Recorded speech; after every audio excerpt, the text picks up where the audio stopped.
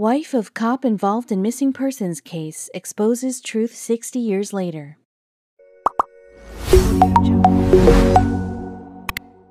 In 1966, a sad and shocking disappearance shattered the tightly knit farming community of Cutchogue, New York. Louise Pietrewicz, a beloved local and adoring mother to her 12 year old daughter, Sandy, had gone missing. For decades, friends and family waited for answers. It wasn't a high profile case that garnered national attention, but to the people of Cutchogue, the lack of information was devastating. They waited and waited until 60 years later, when the wife of a cop involved in the case came forward with one crucial detail. It was a chilly day in October when Louise went missing. At first, no one in Cutchogue knew anything was awry. However, after hours passed and she didn't return home, her daughter really started to worry. Something was very amiss, and the local cops immediately launched their investigation.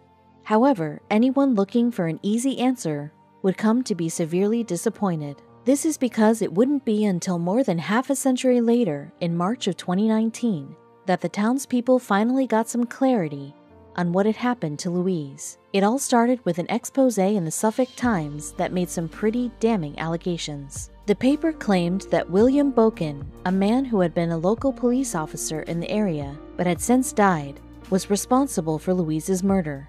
So officials reopened the case. The first person investigators went to question was the person closest to Boken, his former wife, Judith Terry. However, there was one less than minor problem that made it difficult for authorities to interview her. The issue was that Judith had dementia and was in an assisted living home. Still, police knew that if they were going to get to the bottom of the decades long mystery, they had to be able to extract information from her. Detective Reichert, who interviewed Judy in the home, stated that while at times the elderly woman got confused, she was still credible, capable of identifying her current husband and others by name. Reichert remembers asking her one crucial question Did Judith remember telling anyone that she'd witnessed her husband, the late Officer Boken, bury a body in their basement? Her answer made his whole body go cold. Yes, she said, she did, but only one person. Amazingly, the 83 year old admitted that she had indeed confided in someone about the crime. Her neighbor, Joseph Sawicki, who lived across the street. Hearing his name made the interviewing detective stop dead in his tracks. Why? Because it was well known that in 1966, Joseph Sawicki, pictured below in his retirement, had been the town police chief, and Judith went on to reveal that the two families had shared a particularly intimate relationship. She was very close with him and his wife, and was godmother to one of their children, Reichert added. And because he was a police officer, this was starting to seem more and more like a cover up. Officials still had no concrete evidence. Where was the body? Upon hearing about Judith's statements to the authorities, Louise's only daughter, Sandy Blampied, was indignant. She told the police chief about the murder. She asked, What did he do about it? Well, the story only became more nefarious from there. Because of Judith's compromised mental condition, authorities needed several interviews for her to reveal all the information that linked Boken to the crime. Then, one day, the case abruptly reached a key turning point. Judith Terry had a mental breakthrough and unveiled even more upsetting and incriminating news. Not only had she been aware of the body in the basement, but she'd actually seen her husband carry Louise's lifeless body into the house. She went into detail, I was there when he brought her into the house, she told the detective, continuing. He laid her on the cement floor. I don't know if she was dead or alive. I would assume she was dead because she was wrapped in a burlap or something. Judith said Boken had indeed stowed Louise's body in their basement. She then drew a diagram from memory, including what she could recall about how deep the hole was. This would lead to a horrifying discovery that no one could have anticipated. After following Judy's diagram, officials found Louise's remains buried seven feet below the ground in the exact spot she'd pointed out. However, they also found something else, one crucial piece of evidence that fingered the real killer. Along with Louise's remains, 38 caliber bullets were found in the hole. Records stated officers at the time were mandated to carry 38 revolvers. Reports also indicated Boken had used three sick days immediately leading up to Louise's vanishing and resigned the day after she went missing. The only thing left to do was try and give some semblance of closure to Louise's daughter, Sandy. Officials sent her the shirt, slip, and garter found in the hole next to her mother's remains, as she'd asked for. Naturally, Sandy had a lot to say about the tragedy that shaped her life. It's like she wasn't even a person. It was a cover up. There's no doubt in my mind, she said. The twisted nature of this murder investigation is reminiscent of other crimes that aren't immediately what they appear on the surface. When Anne Darwin's husband John didn't return from a canoe trip near the North Sea in March 2002, she was terrified. The couple enjoyed a quiet life in the seaside town of Seaton Carew, Hartlepool in the United Kingdom, when John embarked on the trip in his homemade kayak. Anne called the authorities to report John missing. They searched the ocean for any signs of John or his vessel, but couldn't find the rowing enthusiast. Rescue teams continued these fruitless efforts. In 2003, John was declared dead. It crushed my world, their son Mark said. Both adult sons, Mark and Anthony, mourned for their father. For six years, they dealt with John's untimely disappearance and tried to move on with their lives without their dad. They may have struggled with John drowning at sea, but Anne seemed strangely at peace. After all, there was one silver lining to her husband's demise. John's death paid out £250,000 in life insurance, which came right in the nick of time. The pair had been living quite a life, in part because they were financially ruined. John worked as a professor while Anne was a receptionist, and they also rented some properties on the side. But it just wasn't enough. They were close to declaring bankruptcy and sons were relieved their mother wouldn't have to worry about money any longer. She took some time to travel abroad and find some peace, but they were distraught about the senselessness of their father's death. For one thing, the experienced boatman wasn't even in rough conditions the day he drowned, and beyond some kayak debris, there was no trace of him. But these sorts of tragedies happened, the sons told themselves. So for years, all of John's friends and families tried to move on. All I want is to bury his body. It would enable me to move on, said his grieving widow.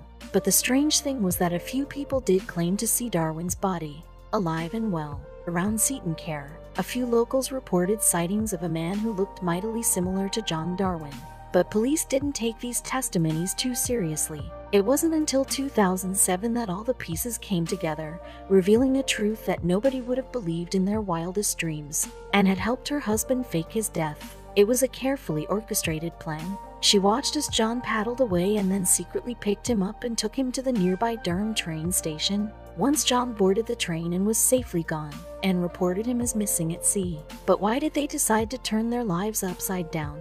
It was all about the life insurance payouts. As Anne pretended to be a widow, the two were engaged in some spy level fakery. John would spend most of his time in the house with me, Anne said, we had the benefit of a gravel driveway that would alert us to someone pulling up. That's right, John didn't bother to leave the country for this scheme. Initially, John did at least leave his hometown. He tried to stay in Cumbria, located on the opposite side of England. This soon dissolved because he missed Anne too much. He called her crying a few times about being miserable, so they found a different and more daring solution. John and Anne had a studio apartment attached to their main home. There was a hidden connection between these residences, so John could rapidly hide if Anne received unexpected visitors. While their sons thought their dad was dead, the pair continued to enjoy each other's company. They never expected to get caught. Besides the £250,000 life insurance policy, Anne also collected funds from John's pension. As their money situation flipped, the couple began traveling internationally. They were enthralled with their adventurous existence. John, who ironically once worked at a prison, started wearing a wig and working as a maintenance person as he began his life of crime. He called himself John Jones, an identity he stole from someone who died as a baby in the 1950s. Under this fake name, John secured a new passport for himself so he could continue his global travels. The couple fell in love with Panama and decided it was the perfect spot to settle and sold their British properties for £500,000 and they used the money to buy a Panamanian apartment.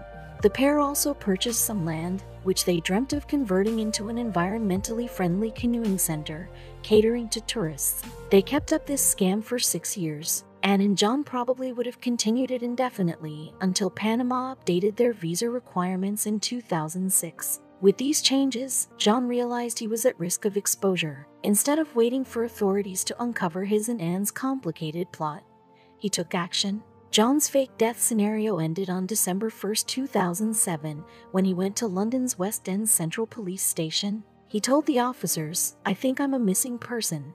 Then, in a plot ripped from a soap opera, John claimed to suffer from amnesia. His illness meant he didn't remember anything since 2000 and remained in Panama until a reporter tracked her down, telling her the good news about her missing husband. Anthony and Mark were elated to have their dad back until they learned the truth about his disappearance. Their parents hadn't told them a thing. Soon, the whole affair came crashing down.